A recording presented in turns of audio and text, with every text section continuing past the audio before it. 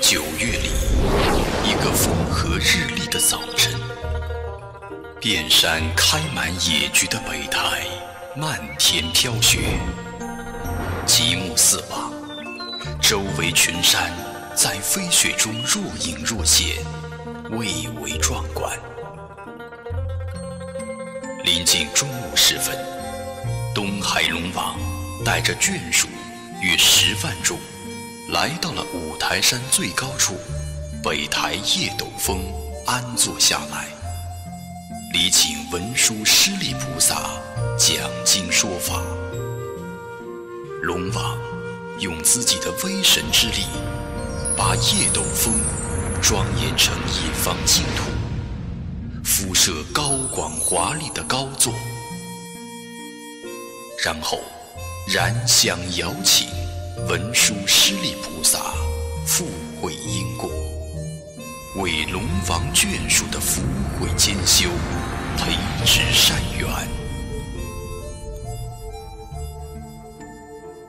龙王刚祈祷完毕，文殊菩萨就应念而至，端坐在高座之上。龙王大喜，连忙率众跪倒在地。三拜一毕，又绕七匝，而后坐在了左边的上首位置，龙母坐在了右手的座椅上，其他龙族眷属也都就近坐了下来。龙王接过手下呈上来的堆积如山的奇珍异宝、名贵香料和各色鲜花。有膝跪地，亲自双手上呈给文殊菩萨，而后说道：“菩萨，这是小王及其眷属供养给菩萨的一点心意，请您大慈大悲，本着为我们龙族乃至于天下苍生的福慧广增，接受我们真诚的供养吧。”文殊菩萨微笑着，默然不语，接受了龙王的供养。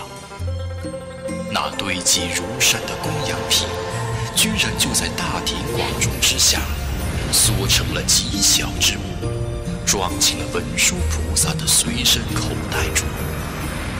在场的人无不为文殊菩萨的神通威德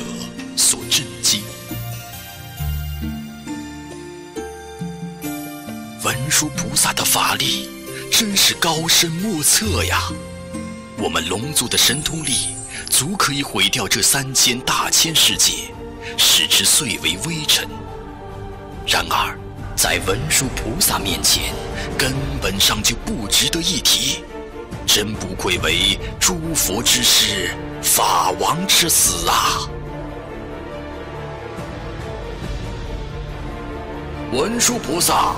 可以把无量恒河沙数的三千大千世界随意融入他的每一个毛孔，而这么多的三千大千世界里的众生都不会有任何觉知。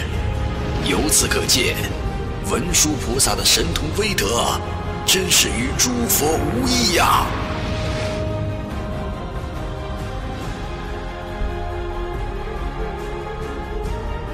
文殊菩萨。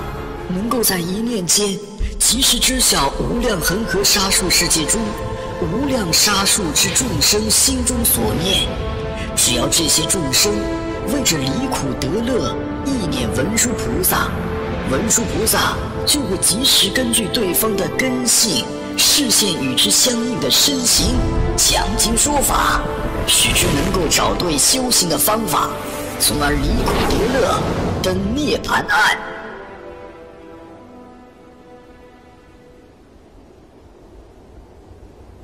文殊菩萨能够及时知晓每一位众生无量阿僧祇劫以来，乃至于无量阿僧祇劫之后的所有经历，这古往今来中所发生的一切，文殊菩萨都了如指掌，动若观火。他的宿命通也与诸佛无异呀。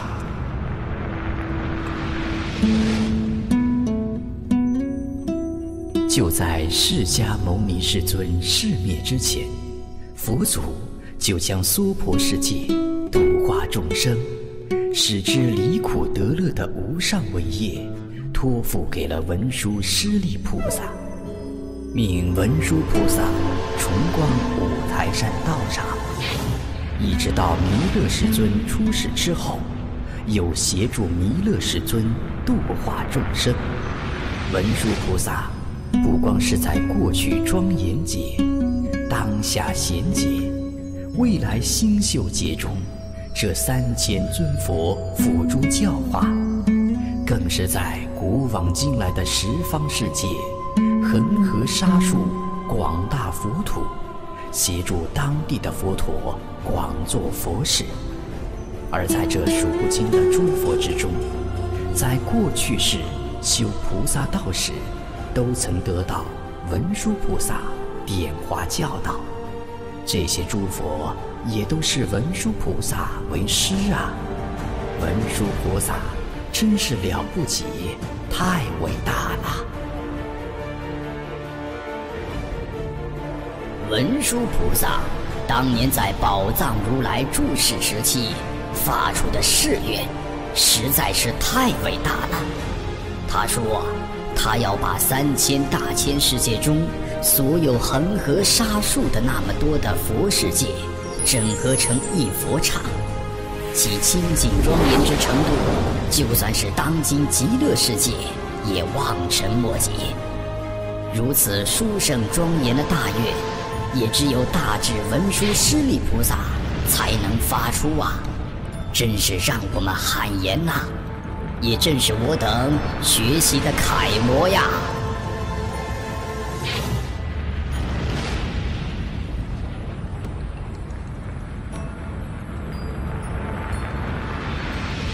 就在大家议论纷纷时，东海龙王站起身来，扫视一周，整个会场顿时鸦雀无声，静得。连针掉在地上都能够听得到声音。东海龙王就在座旁单膝跪地，合掌恭敬而请教道：“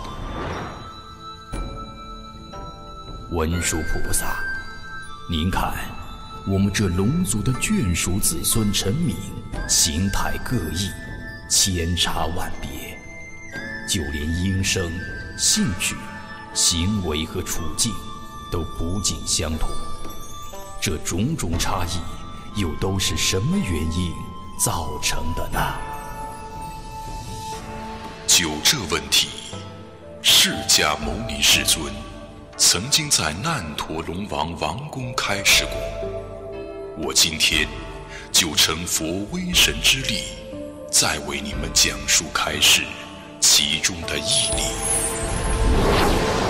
茫茫众生，无论是形体还是音声，处境的千差万别，追溯根源，其缘起于心中意念。由于心意的不同，导致言语、身形也就不同。众生的所有行为，无不缘起于心中意念。由于行为的产生，就会导致业力的形成，而业力分为善恶两大类。善业就会导致极善境界的报应，恶业就会形成极恶境界的报应。如是因，如是缘，如是果，真实不虚。诸佛。佛位，也都是善业成熟的结果。声闻圣者所证得的圣果，也都是如此。地狱、恶鬼和畜生这三大恶道的众生，也都是因为恶业的成熟，才导致如是的众苦煎熬吧。有。情众生、音容相貌以及财富地位的种种差别，也都业力影响所致。龙王和在场的听众全都沉默不语，都在禅思文殊菩萨刚才的开始，也都在反思自己在此之前的所作所为，也都生起了大惭愧心，真诚的忏悔自己在此之前身口意的所有恶行，心中暗自发愿。从此以后，都要诸恶莫作，众善奉行，自尽其意，并把这功德回向给自己，将来能够出离三界，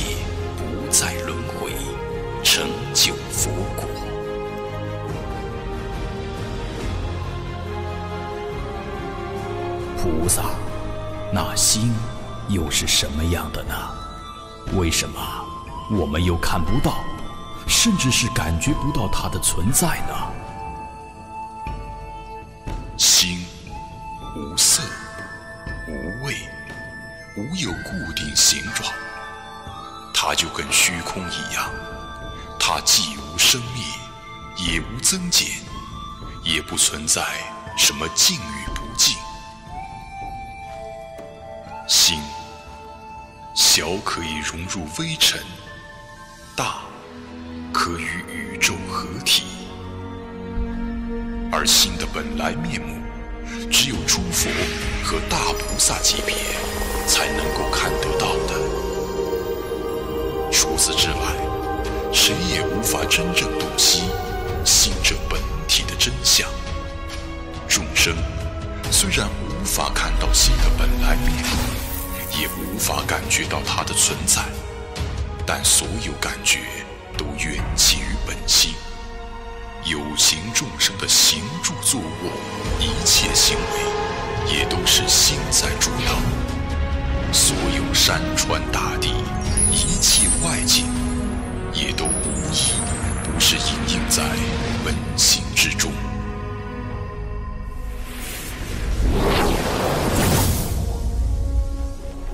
菩萨。那轮回的主体又是什么呢？轮回的主体就是我们的本心。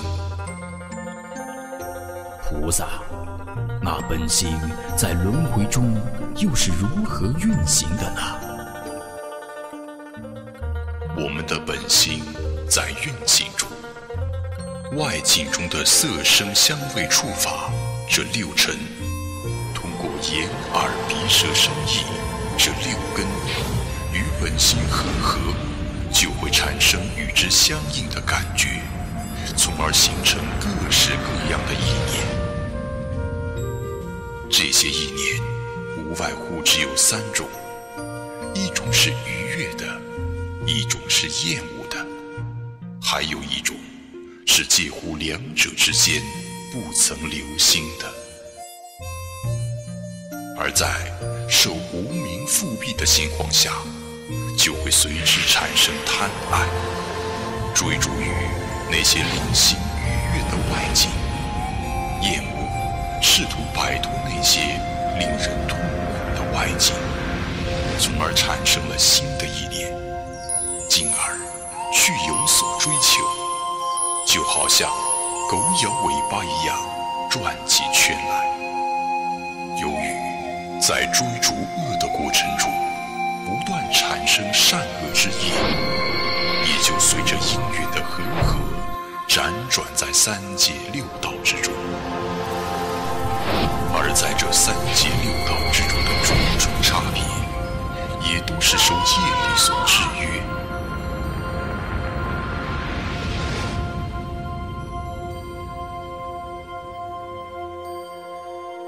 而在整个轮回的过程中，本心都是被动参与到轮回的。一旦意识到轮回的无奈与危险，认识到世间万法的绝对真相，就会升起强烈的厌恶，进而生发出离三界、不再轮回的菩提心。如此一来，就会将所有善业回向到涅槃彼岸，对各种导致轮回的恶行，尤其是意念，防微杜渐，以至于断绝。如此修为，就会在诸佛菩萨的加持护念下，建立生死，淡出轮回，终入涅槃。一旦功德圆满，成就彼岸之后，也就再无生死，再无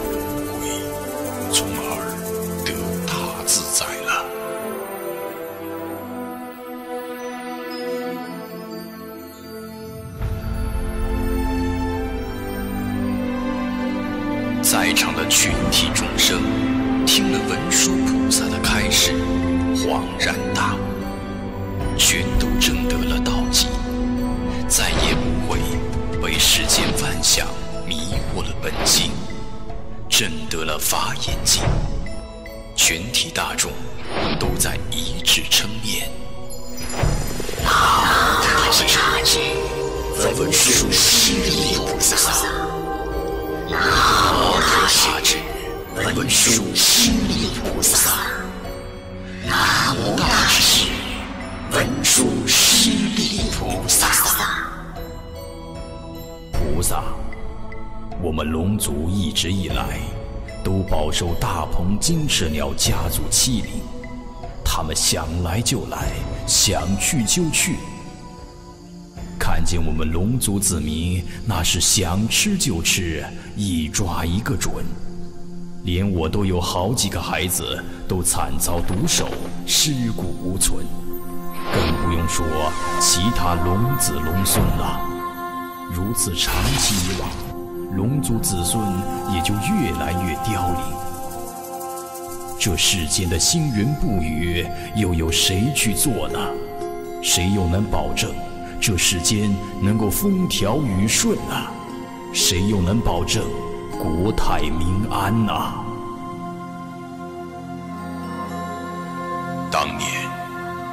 释迦世尊不是给你们每个人都分了一块长条的袈裟布条吗？你们把那受如来加持的布条长期系在脖子上后，大鹏金翅鸟也就不敢打你们的主意了，更不用说还会去伤害你们了。你们当中，但凡有皈依如来座下的龙众，不都平安无事吗？你们从此以后，只要一如既往皈依佛门了，受持经戒，护持正法，乐善赏恶，都会得到十方诸佛，包括我在内的广大菩萨之加持护念，从而平平安安、无惊无险的。